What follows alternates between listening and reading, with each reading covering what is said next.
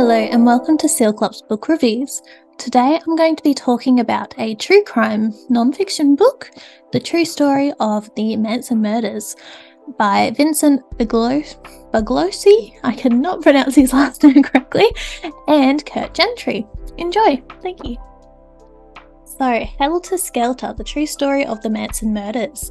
This book is written by Vincent Bugliosi and Kurt Gentry, and it is a non-fiction book, a true crime story. I actually read this paperback book.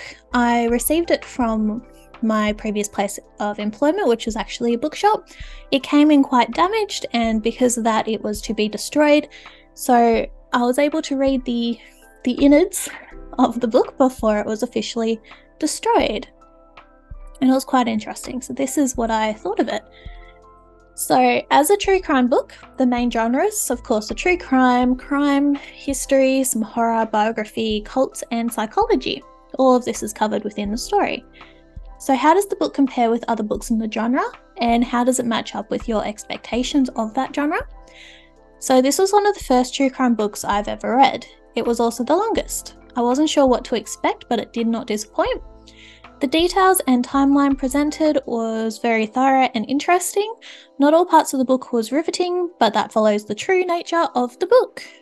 And if you think about it, is quite good that not all not all parts are riveting because the riveting parts are quite often the the horrific, unfortunate events that you're shocked over. So yeah, take that as what you will. So the summary. Prosecuting attorney in the Manson trial, Vincent Bugliosi held a unique insider's position in one of the most baffling and horrifying cases of the 20th century. The cold blooded Tate LaBianca murders carried out by Charles Manson and four of his followers. What motivated Manson in his seemingly mindless selection of victims, and what was his hold over the young women who obeyed his orders? Here is the gripping story of this famous and haunting crime, which also includes 50 pages of black and white photographs. And if you're like me when you're reading true crime stories, the photographs are quite quite interesting. You want to be able to reference them throughout the book. It makes it well, it it makes it easier to follow, especially when throughout these books they do get quite into the legal um, terms and and the speech, which can be quite hard to understand as well in some cases, depending on the author and who's writing it, I guess, as well. So, the main plot and theme for this book so, the aim of this book was to outline and inform the reader on Charles Manson and his family while they were enacting their crime spree. It also provides further information and insight into the legal proceedings that took place during and after the investigation. We are informed of the outcomes the main characters were subjected to after the case was concluded. So, pacing, emotion, ending, and plot holes. The majority of the book was very interesting. It allowed me insight into the trial and outcomes that I may not have had access to if it weren't for books such as this. The pacing could drag in some spots, and I did take longer than usual to finish the whole thing. It was quite a, a decent sized book. With occasional pauses to read something lighter before returning, I was able to finish the entire book without too much struggle. I constantly found myself informing my partner and friends about parts of the book I found fascinating or shocking or ones bits that I needed to share pretty much and being told by them to stop because they weren't interested, um, which is something I look forward to when it comes to a, tr- a true crime book, reading true crime books. Okay, so a bit about the main characters. So, in the top left of the screen, we have Charles Manson, one of his most iconic pictures of him having his mugshot taken. So, he is the cult leader. He instigated a series of nine murders at four locations in July and August 1969. He was convicted of first degree murder and conspiracy to commit murder in 1971.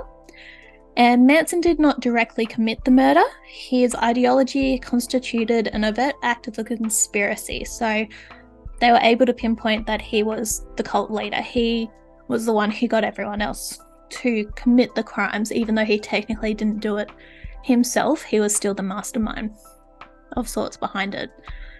And then the four other pictures we have we have Tex Watson up on the top top middle. Uh, Linda Kasabian.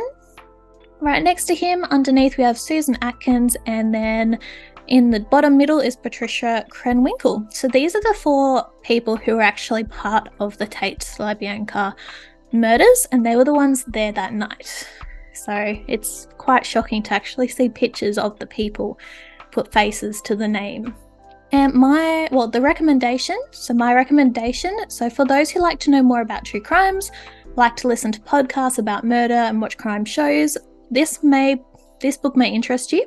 It is a fascinating read with a detailed timeline and 50 pages of black and white photos to add greater detail.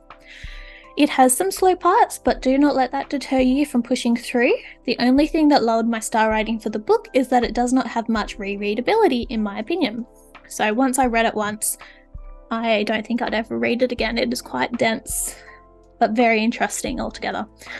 So I gave this book three out of five stars. So for others who enjoy reading the scary and thought provoking true crime stories, I would recommend giving this book a go.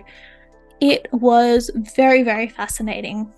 Um, anyone who's has a bit of an interest in true crime and trying to understand what makes people do it and what happened when this infamous crime spree definitely should give this book a go. It's a very was was a very good read.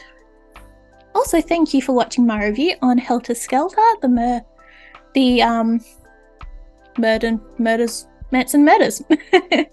um, please like and share, and I'll be able to make some more book reviews for you. Thank you. Bye.